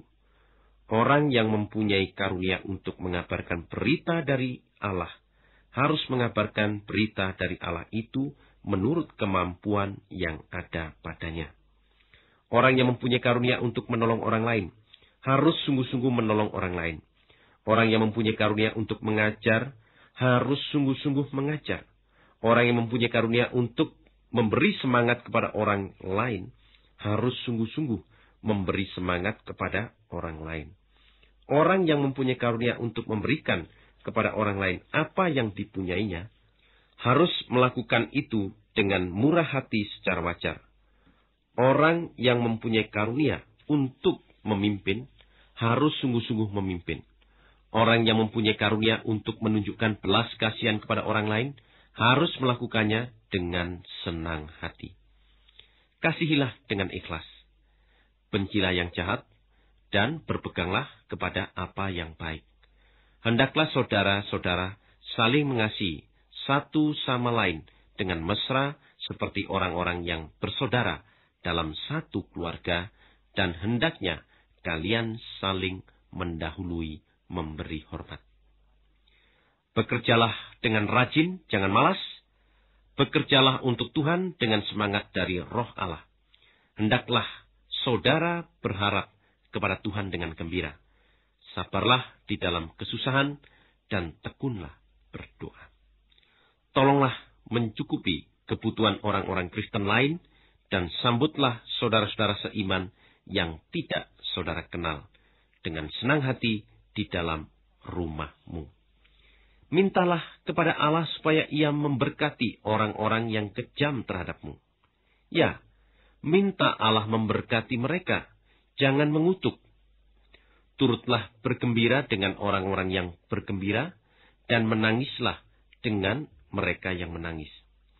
Hiduplah rukun satu sama lain. Janganlah bersikap tinggi hati.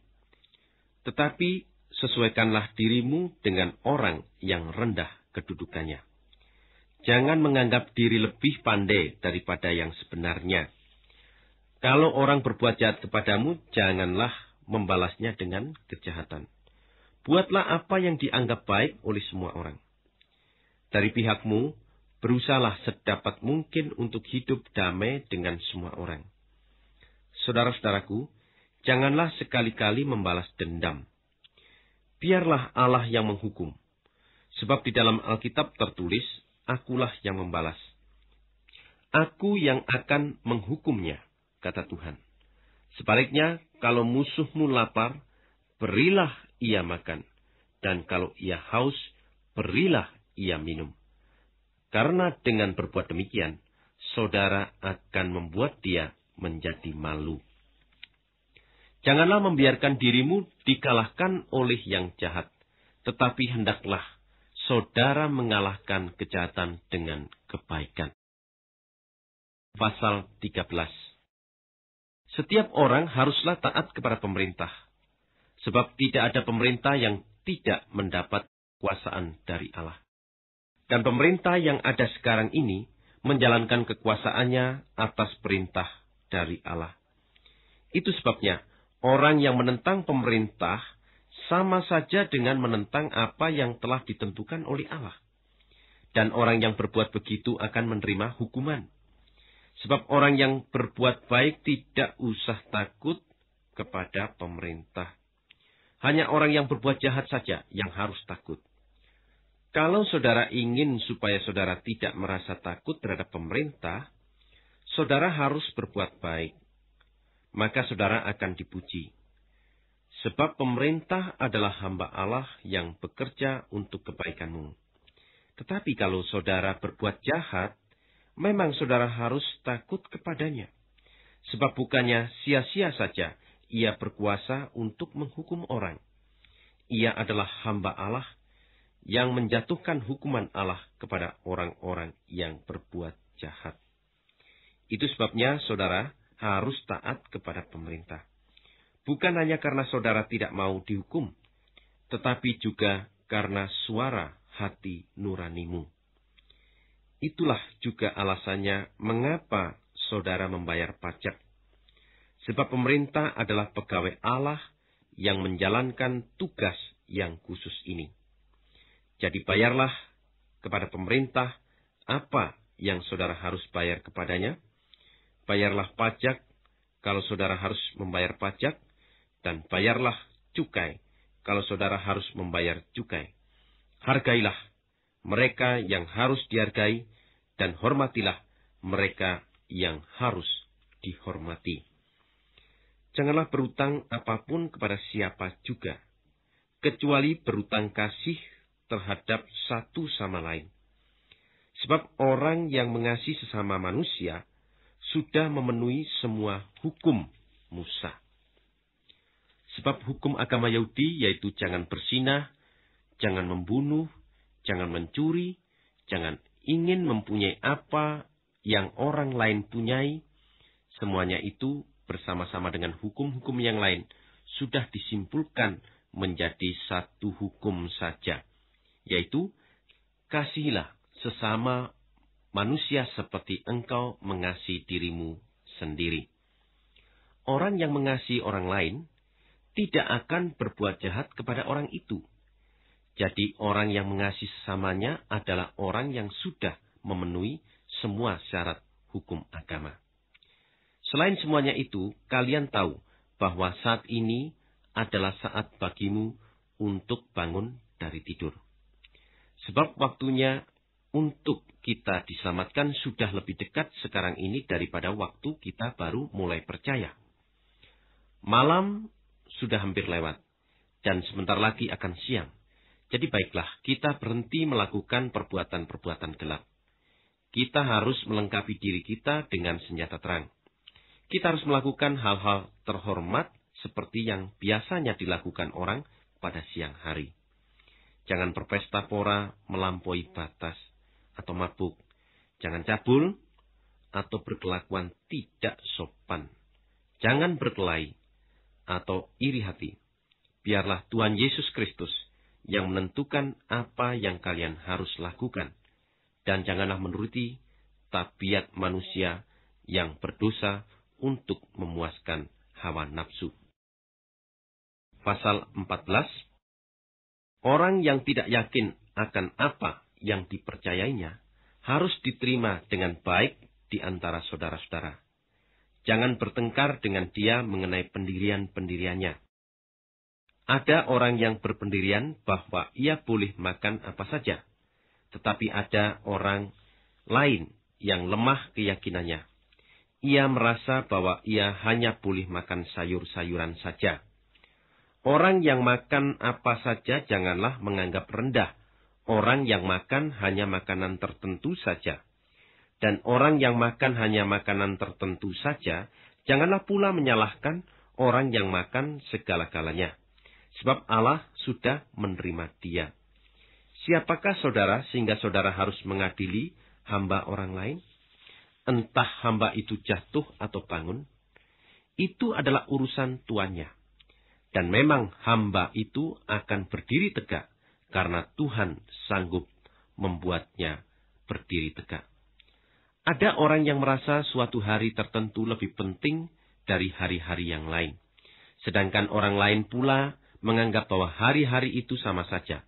Biarkan masing-masing orang menentukan pendiriannya sendiri.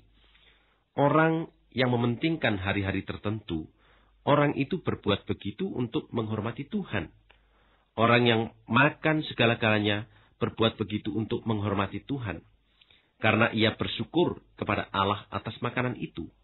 Begitu juga dengan orang yang makan hanya makanan tertentu saja orang itu juga menghormati Tuhan dan bersyukur kepada Allah. Tidak seorang pun dari kita yang hidup untuk diri sendiri. Dan tidak seorang pun dari kita yang mati untuk dirinya sendiri. Kalau kita hidup, kita hidup untuk Tuhan.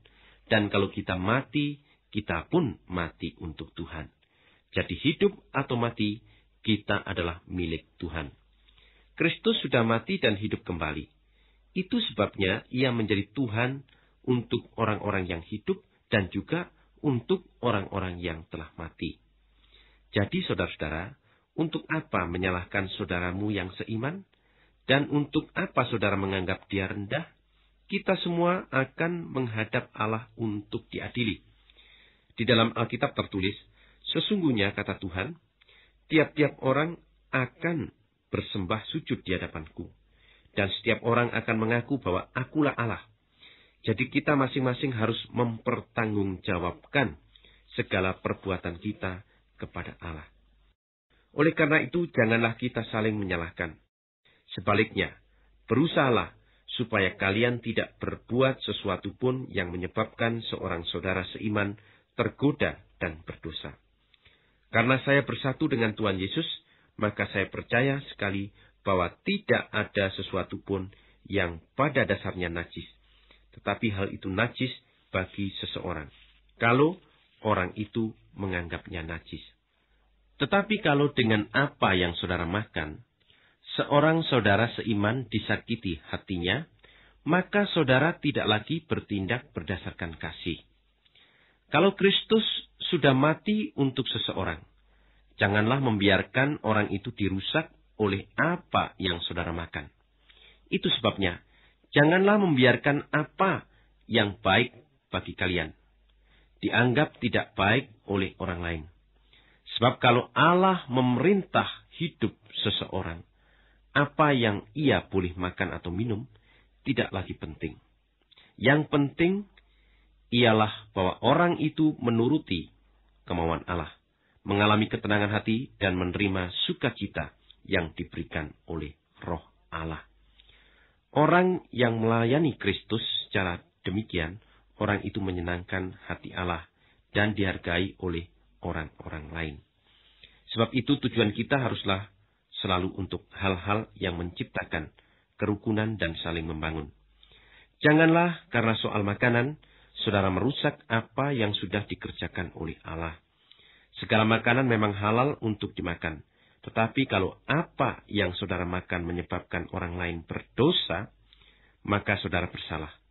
Lebih baik tidak usah makan daging atau minum anggur atau melakukan apa saja kalau hal itu menyebabkan seorang saudara seiman menjadi berdosa. Biarlah apa yang saudara percaya itu saudara lakukan di hadapan Allah saja untuk saudara sendiri. Orang yang tidak mempunyai alasan untuk merasa bersalah atas apa yang dianggapnya benar, orang itu bahagia. Tetapi orang yang merasa ragu-ragu untuk makan sesuatu, kemudian toh makan makanan itu, orang itu disalahkan oleh Allah. Sebab orang itu tidak bertindak menurut keyakinannya tentang apa yang benar dan yang salah. Dan apa saja yang dilakukan tanpa keyakinan adalah dosa. Pasal 15 Kita yang sungguh-sungguh yakin akan apa yang kita percayai, haruslah bersabar terhadap keberatan-keberatan orang yang lemah keyakinannya Janganlah kita mau menyenangkan diri kita sendiri saja. Sebaliknya, kita masing-masing harus menyenangkan hati sesama saudara kita untuk kebaikannya, supaya keyakinannya bertambah kuat. Sebab Kristus pun tidak memikirkan kesenangan dirinya sendiri. Di dalam Alkitab tertulis begini, Segala celaan yang ditujukan kepadamu telah jatuh ke atasku semua yang tersurat di dalam Alkitab adalah untuk mengajar kita. Sebab pelajaran yang kita terima dari Alkitab menjadikan kita tabah dan kuat sehingga kita dapat berharap kepada Allah. Semoga Allah yang memberikan ketabahan dan penghiburan kepada manusia menolong kalian untuk hidup dengan sehati menuruti teladan Kristus Yesus. Dengan sehati saudara semuanya bersama-sama dapat memuji Allah, Bapa Tuhan kita, Yesus Kristus. Sebab itu, hendaklah saudara-saudara menerima satu sama lain dengan senang hati. sama seperti Kristus juga menerima kalian untuk memuliakan Allah. Sebab ingatlah bahwa Kristus sudah melayani orang Yahudi untuk menunjukkan bahwa Allah setia dalam memenuhi janji-janjinya kepada nenek moyang kita. Yesus juga membuat bangsa-bangsa lain memuliakan Allah karena kebaikan hatinya kepada mereka. Di dalam Alkitab tertulis begini, Sebab itu, aku akan memuji engkau di antara bangsa-bangsa. Aku akan menyanyikan pujian untuk namamu. Ada tertulis begini pula, Bergembiralah bersama umat Allah yang terpilih, hai bangsa-bangsa, dan ini juga, pujilah Allah, hai semua bangsa. Hendaklah semua orang memuji dia, dan ini pula yang dikatakan oleh Yesaya. Dari keturunan Isai akan muncul seseorang yang akan memerintah bangsa-bangsa. Kepada dialah bangsa-bangsa itu akan berharap. Allah adalah tempat kalian berharap. Semoga ia mengisi hatimu dengan segala sukacita dan sejahtera karena kalian percaya kepadanya. Supaya dengan kuasa roh Allah, kalian makin berharap kepada Allah. Saudara-saudaraku, saya yakin bahwa ada banyak sekali hal yang baik padamu. Kalian pun mengetahui segala-galanya dan dapat mengajar satu sama lain juga. Tetapi mengenai hal-hal tertentu, saya memperingatkan kalian dengan tegas dalam surat ini. Karena Allah sudah menganugerahi saya tugas itu. Ia sudah menjadikan saya pelayan Kristus Yesus untuk diutus kepada bangsa-bangsa yang bukan Yahudi. Dan saya bertindak sebagai imam yang mengabarkan kabar baik dari Allah, supaya orang-orang yang bukan Yahudi menjadi suatu persembahan kepada Allah yang dapat diterima olehnya. Semoga roh Allah membuat mereka menjadi suatu persembahan yang khusus untuk Allah jadi karena saya sudah bersatu dengan Kristus Yesus, maka saya boleh merasa bangga atas pekerjaan saya bagi Allah. Saya berani berbicara begitu hanya mengenai apa yang sudah dilakukan Kristus melalui saya untuk menjadikan orang-orang yang bukan Yahudi taat kepada Allah. Saya melakukan itu dengan kata-kata maupun dengan perbuatan yang disertai keajaiban-keajaiban dan hal-hal luar biasa. Semuanya itu oleh kuasa roh Allah. Kabar baik tentang Kristus sudah saya beritakan seluruhnya kepada orang-orang, mulai dari Yerusalem sampai ke Ilirikum. Cita-cita saya ialah memberitakan kabar baik dari Allah di tempat-tempat di mana orang belum mendengar tentang Kristus Sebab saya tidak mau membangun pekerjaan pada pondasi yang diletakkan oleh orang lain. Di dalam Alkitab tertulis, orang-orang yang belum pernah menerima berita tentang dia akan melihat. Dan mereka yang belum pernah mendengar akan mengerti. Itu sebabnya sudah sering saya terhalang untuk mengunjungi kalian. Tetapi sekarang pekerjaan saya di daerah-daerah itu sudah selesai. Bertahun-tahun lamanya saya ingin mengunjungi kalian. Nanti kalau saya lewat kotamu dalam perjalanan saya ke Spanyol, saya harap dapat bertemu dengan kalian dan bergembira sebentar dengan kalian. Sesudah itu saya harap kalian dapat membantu saya untuk perjalanan saya ke Spanyol itu. Tetapi sekarang ini saya mau ke Yerusalem untuk membawa bantuan bagi umat Allah di sana. Sebab jemaat-jemaat di Makedonia dan Akaya sudah menyetujui untuk memberikan sumbangan kepada saudara-saudara yang miskin di antara umat Allah di Yerusalem. Dengan senang hati mereka memutuskan untuk berbuat itu. Memang sebenarnya mereka patut menolong saudara-saudara yang miskin di Yerusalem itu. Sebab dari orang-orang Yahudilah, orang-orang bukan Yahudi itu sudah menerima berkat-berkat dari Allah. Jadi, orang-orang bukan Yahudi itu patut juga menolong orang-orang Yahudi dengan berkat-berkat kebendaan. Kalau saya sudah menyelesaikan tugas saya ini dan menyerahkan kepada mereka yang di Yerusalem itu sumbangan yang sudah dikumpulkan itu, maka saya akan berangkat ke negeri Spanyol melewati kotamu. Kalau saya datang padamu, pasti saya datang dengan banyak berkat dari Kristus untuk kalian. Demi Tuhan kita Yesus Kristus, dan demi kasih yang diberikan oleh roh Allah, saya minta dengan sangat kepadamu. Semoga kalian turut berdoa sungguh-sungguh bersama-sama saya kepada Allah untuk saya. Berdoalah supaya Allah melepaskan saya dari tangan orang-orang yang tidak percaya di Yudea, dan supaya tugas saya untuk membawa sumbangan ke Yerusalem diterima dengan senang hati oleh umat Allah di sana. Dengan demikian, kalau Allah mengendaki, saya dapat datang kepadamu dengan hati yang senang, dan saya akan merasa terhibur di tengah-tengah kalian. Mudah-mudahan Allah yang memberikan sejahtera kepada manusia menyertai saudara semuanya. Amin. Pasal 16 Saya ingin memperkenalkan saudari kita, Febe, ia membantu jemaat di Kengkrea. Terimalah dia sebagai salah seorang dari umat Tuhan. Memang demikianlah orang-orang yang percaya kepada Allah harus menerima satu sama lain. Tolonglah dia kalau ia memerlukan bantuan dari kalian, karena ia sendiri sudah membantu banyak orang, termasuk saya. Sampaikan salam saya kepada Priscilla dan Aquila, rekan-rekan saya yang sama-sama bekerja untuk Kristus Yesus. Mereka hampir mati karena mau menyelamatkan saya. Saya berterima kasih kepada mereka.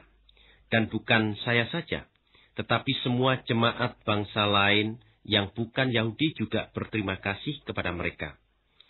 Sampaikanlah juga salam saya kepada jemaat yang berkumpul di rumah mereka. Salam kepada Epenitus yang saya kasihi. Ialah orang yang pertama-tama percaya kepada Kristus di daerah Asia. Salam saya juga kepada Maria. Ia sudah bekerja begitu keras untuk kalian. Sampaikan juga salam saya kepada Andro, Nikus, dan Junias. Mereka sesuku bangsa dengan saya dan pernah masuk penjara bersama-sama saya. Sebelum saya percaya kepada Kristus, mereka sudah lebih dahulu percaya. Mereka terkenal di antara para rasul. Salam kepada Ampliatus, yang saya kasih karena dia sama-sama dengan saya sudah bersatu dengan Tuhan. Sampaikan hormat saya kepada Urbanus, rekan kita yang bekerja bersama-sama dengan kita untuk Kristus. Juga hormat saya kepada Stakis yang saya kasih. Salam kepada Apeles, kesetiaannya kepada Kristus sudah terbukti. Salam juga kepada keluarga Aristobulus dan kepada Herodion. Ia sesuku bangsa dengan saya. Juga salam kepada saudara-saudara seiman dalam keluarga Narkisus.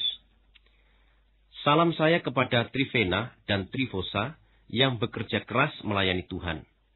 Dan kepada Persis yang saya kasihi. Dia juga sudah bekerja keras untuk Tuhan. Salam kepada Rufus dan ibunya, yang bagi saya seperti ibu saya sendiri.